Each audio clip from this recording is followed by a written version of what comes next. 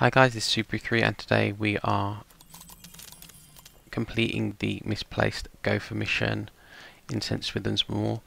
Um, so the loca location of this is under, I think, Hidden Present 5 and you roll a ball to get a hold of him. Um, check my collectibles guide if you're struggling for the location for him. Um, the camera just goes crazy there. Now make sure that you just go directly for this one because um, I find if you're trying to go for the collectibles and stuff you almost certainly will drop him or lose him because there's a lot of backtracking and running around here. We're going to have to walk across these kind of areas twice. The first one's not too bad. Um, just always place him down on one of the firm hexagons where there's plants and stuff. That way you, you're free to um, not have to worry about dropping him.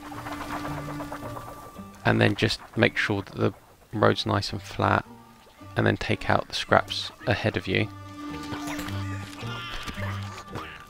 You will have the ball ability obviously if you've uh, been able to even pick him up so um, the scraps aren't too difficult to dispatch of.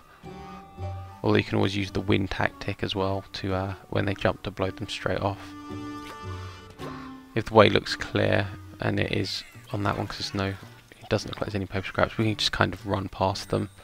Uh, remember if in general you are supposed to be killing all the scraps though but as you've most likely you have to come back to this level anyway uh, you won't be a, you should have hopefully got all the collectibles already.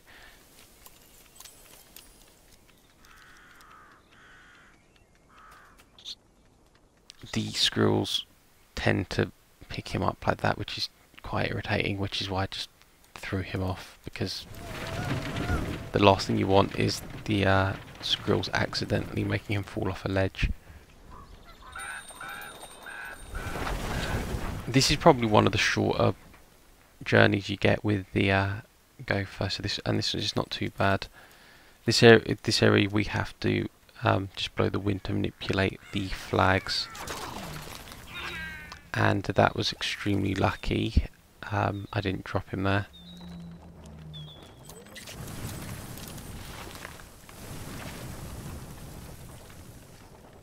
Alright, that flag's not the right one, it's this one here.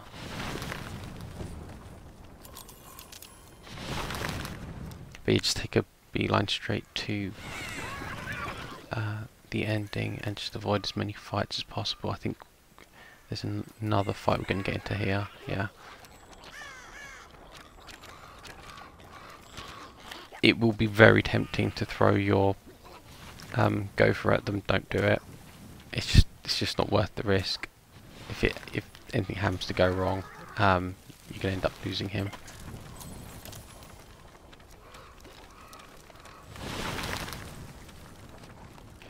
This these parts aren't the tricky parts, it's the final section which is actually going to be um, difficult. I always misjudge the jump height on um, IOTA. Right, let's uh, go here. Uh, the character's name changes to Atoi if you choose the female version.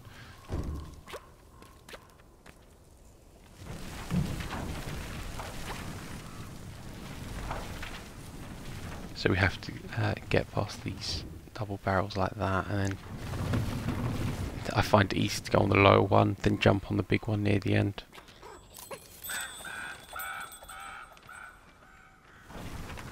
Now we're almost there, we've just got another fight here. When as soon as we get into this little building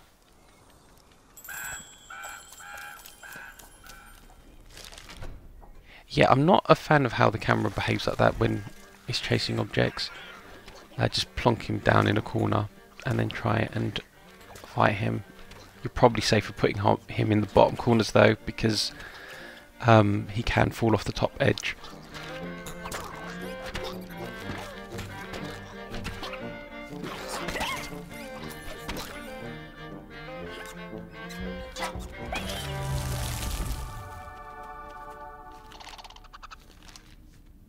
Anyway, um, just grab hold of him and we'll head out of here now.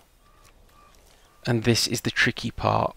The crows end up flying back and forth and they will manipulate the ground. So to get by, we have to think of the shortest route between solid patches of ground.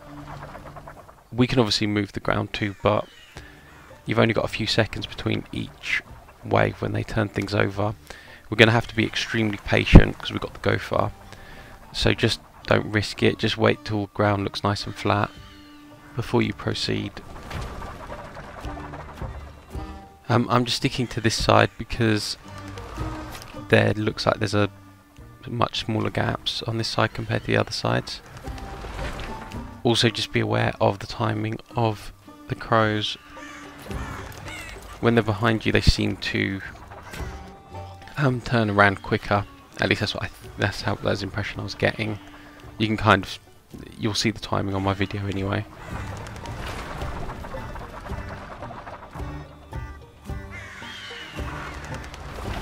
but we want to go to that big bundle of land on the left that's what I'm aiming for at the moment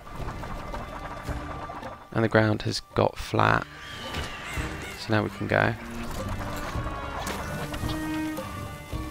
another fight with scraps which is inconvenient I'm not even going to drop my gopher here because I think that's just risky so we're just going to try and blow them whenever they turn and remember when they land on the um, yellow hexagons you can flip them so they die that way as well.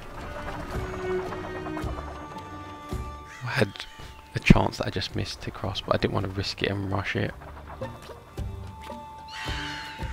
That was a risky move. I wouldn't advise doing that unless you're feeling really gutsy, but I did avoid a fight, so that's what you got to weigh that up.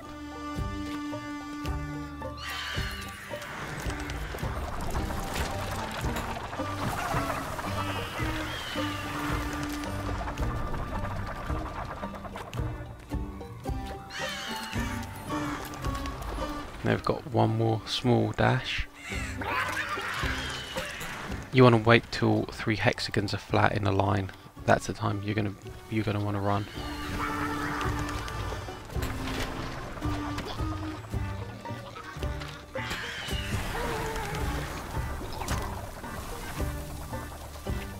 And there we go, three in a row flat, and uh, then we can just drop off the gopher.